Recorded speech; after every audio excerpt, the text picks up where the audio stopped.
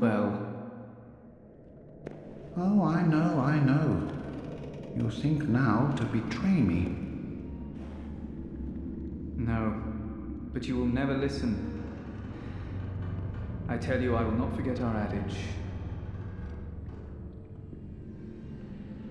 We are born of the blood, made men by the blood, undone by the blood.